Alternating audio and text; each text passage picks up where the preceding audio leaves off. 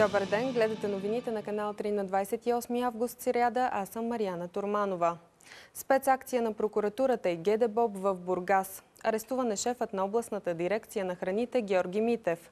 Рано сутринта антимафиотите нахуха в сградата на държавната институция и започнаха претърсвания и обиски в кабинетите. Според първоначалната информация, акцията е във връзка с сигнал на бизнесмен, който твърдял, че е рекетиран. Присъдата на заловения наркобос Будимир Куйович била намалена с 3 години.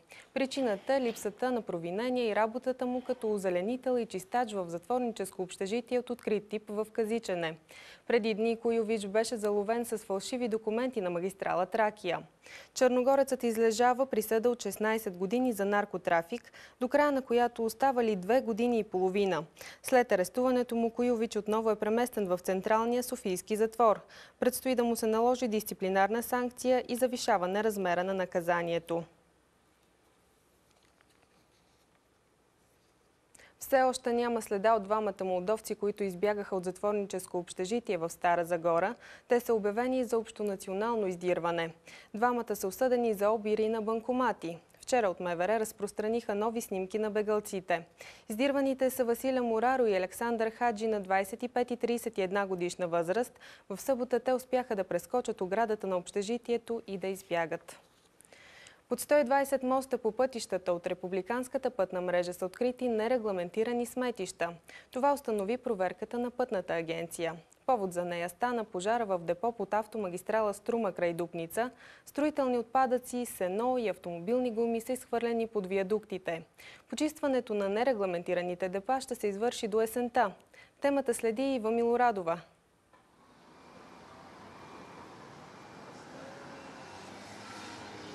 3808 са общо съоръженията, които са проверили от Агенция Пътна инфраструктура в рамките на тази проверка. В крайна сметка 120 от тях се оказало, че под мостовите съоръжения има нерегламентирани сметища, като на тях са струпвани всякакви различни отпадъци, сред които битови и строителни, а най-фрапиращото е, че на места в няколко области в страната са били оформени и а, ограждения, в които временно да пребивават, включително и стопански животни. А, на всички хора, които са направили това в нарушение, както и на юридически лица, ще бъдат наложени различни глоби, а пък самата пътна агенция си поставя за срок 4 месеца, за да отстрани всички такива струпани бакуци, независимо дали ще успее да се разбере с фирмите, които са ги събрали там да го направят или ще го направи за своя сметка. Съответно, парите за това ще дойдат от бюджета на пътната агенция. Същото ще бъде направено и вече всъщност се случва на автомагистрала Струма, където знаете възникна всъщност и пожар, който пък стана повод за тези проверки. Вижте още. В периода до 23 август са проверени 3808 съоръжения на републиканската пътна мрежа, като са установени нерегламентирано използване на пространство под мостовете и прилежащия им сервитут на 120 съоръжения. Четири са случаите на съхраняване на на сено и на временни ограждения за, за животни. За ремонтите по дясното платно са установени малко повече конструктивни елементи укрепени. Има и елементи от върхната конструкция, които се нуждаят от усилване, което усилване ще извърши в 4-месечен срок, след като бъде е, изготвен надлежно проект, какви точно мерки трябва да се предприемат спрямо тях. Две ленти в посока, две ленти в посока София, а в петък ще станат две ленти в посока Кулата, една лента в посока София, т.е. общо три ленти за движение. Между 200 и 500 лева могат да бъдат глобени физическите лица, които са организирали такова нерегламентирано сметище. Съответно, ако става дума за фирми, глобите нарастват от 1000 до 3000 лева. За автомагистрала Струма трябва да кажем, че всъщност там вече опасността е намалена, тъй като основната част от бокуците е изчистена. А това, което разбрахме иначе от пътната агенция, е, че още този петък платното в посока София ще бъде напълно отворено за движение, макар и само за леки кори. Оттам насетне движението в тази посока ще се извършва реверсивно. А в дните, в които се пътува като почивни дни, например петък, в посока границата на България, две ленти ще са отворени на там, а една в посока София и съответно в последният почивен ден движението ще се обръща. Толкова по темата.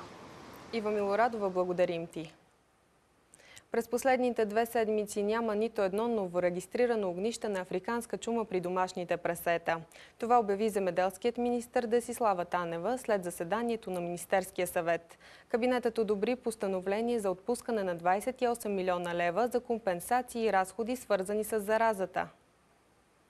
Министерски съвет прие постановление, съгласно което се отпускат 28 милиона лева трансфер към Министерството на земеделието, храните и горите за изплащане на обещетения, компенсации и всички разходи, свързани с мерките, с прилагането на мерките за борба с африканската чума по свинете от Българска агенция по безопасност на храните. Тези средства са част от общо прогнозни разходи в размер на близо 23 милиона евро, които са поискани от и представени на Европейската комисия на 14 август. Тези средства ще бъдат след съответните одити и проверка съфинансирани от Европейската комисия очаквано около 75%. Средствата ще бъдат изплащани за компенсации на засегнатите животни, за разходите по дезинфекция, за унищожените суровини, фуражи. На днешното си заседание Министерския съвет одобри и план сметката за местния вод на есен. За подготовката и провеждането на изборите бяха отпуснати 70 милиона и 700 хиляди лева. С тях ще се финансират дейностите по организацията, които включват разходи като отпечатването на бюлетините, избирателните списъци, възнагражденията на членовете на общинските и секционните комисии а цистерна разля 8 тона масло на пътното платно в центъра на София. Това затрудни движението в района на кръстовището на Сточна гара. С подробностите от мястото включваме Ванеса Маринова. Намираме се на кръстовището на Сточна гара. Днес сутринта цистерна разля в района на булевард Данаил Николаев и улица Резбарска 8 тона масло по пътното платно. От столична община предприеха мерки за почистване на петното още сутринта, като района беше опесачен. Това, което трябва да знаят шофьорите е, че движението тук не е затруднено към момента. Има трафик, който е обичайен за този час на деня. Също така пътят е доста хлъзгав. Това предупреждават и от столична община.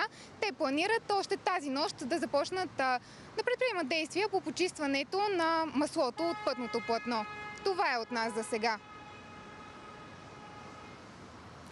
Ванеса Маринова с важна информация за шофьорите в София. Лихвите по кредитите у нас паднаха до рекордно ниски нива. Условията на банките стават все по-изгодни, а броят на отпуснатите ипотеки и потребителски заеми постоянно расте. До кога се очаква да се запазят ниските лихви, провериха Веселата Насова и Мартин Неделчев. През последните 10 години лихвите по кредити никога не са били толкова ниски.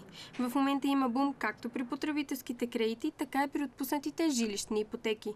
При покупка на нов дом някои банки предлагат под 3% лихва – а потребителски заеми все по-често може да се договорят за под 6 на 100. От основно значение за размера на лихвения процент обаче е финансовият профил на клиента. Лихвите в момента са на историческо дъно. Действително никога до сега не са били толкова ниски. Появиха се предложения с 2,6-2,7%. Това естествено е за кредитополучатели с доста висок профил и високи доходи. В средносрочен план година-две не очакваме някакви рязки повишения в плащите лихви. В сравнение с миналата година, лихвеният процент по кредитите е намалял драстично.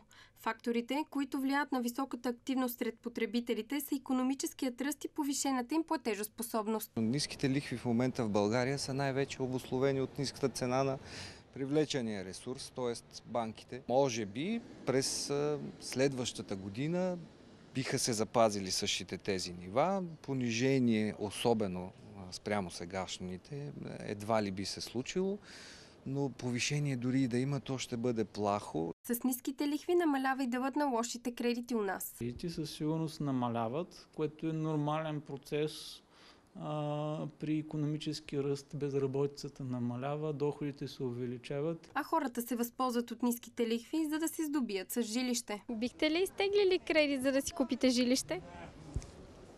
А, всъщност да.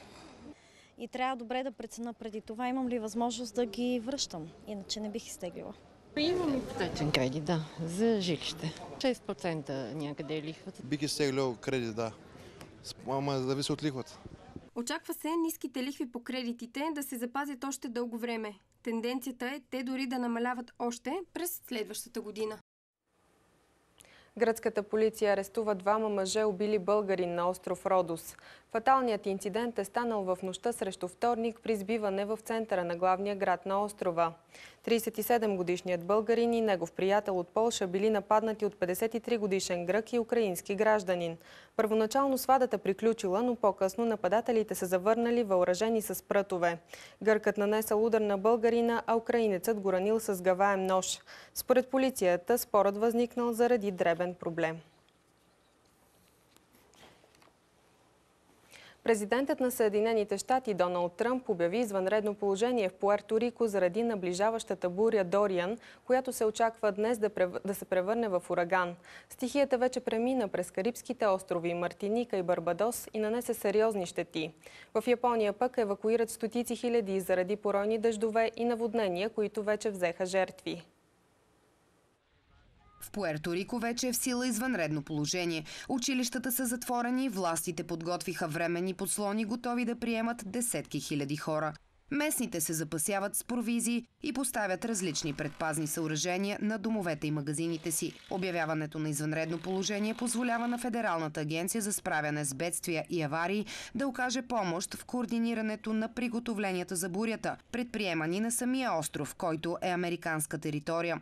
През 2017 година Пуерто Рико беше опустошен от ураганите Мария и Ирма. Хиляди загинаха, нанесени бяха материални щети за милиарди долари.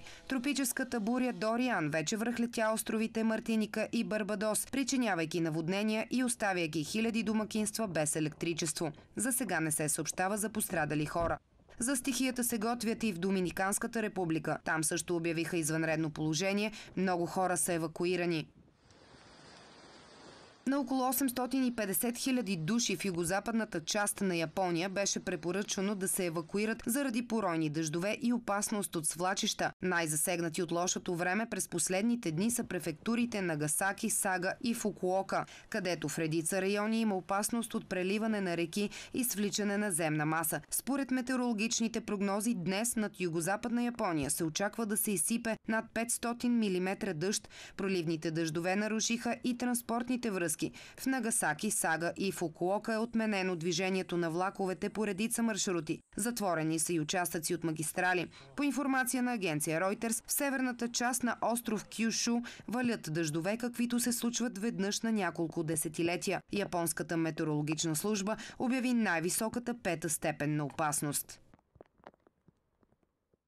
Голям пожар обхвана църква на 115 години в американския град Филаделфия. Голяма част от структурата се срути и е истинско чудо, че никой не е пострадал. 100 пожарникари са гасили пламъците в продължение на часове. Причините за инцидента не са ясни. Съобщава се единствено, че на покрива е имало ремонт. Все още е рано да се каже и дали църквата ще може да бъде възстановена. Случилото се напомни на съдбата, която сполетя и Парижката катедрала Нотърдам през април. Завършваме с нещо любопитно. Полицията в Колумбия се натъкна на необичайна находка. 300 кг марихуана, скрита в ковчег. Органите на реда извършили рутинна проверка на катафалка в северния колумбийски департамент Сантандер, спрели автомобила на пътя между Памплона и Кукута и останали искрено изненадани какво открили вътре. В катафалката имаше два ковчега. В единия открихме 300 кг добре пакетирана марихуана. Шофьорът е арестуван и обвинен в разпространение на наркотици в особено големи размери. Имало ли е нещо в другия ковчег, не става ясно. Колумбия продължава да бъде сред държавите с най-много производство и трафик на дрога в света. Преди години най-масово се отглеждаше именно канабис, но в последствие наркокартелите се пренасочиха към значително по-рентабилния кокаин. Това беше по-важното до този час. Новините четете и на сайта ни канал3.bg. Хубав ден!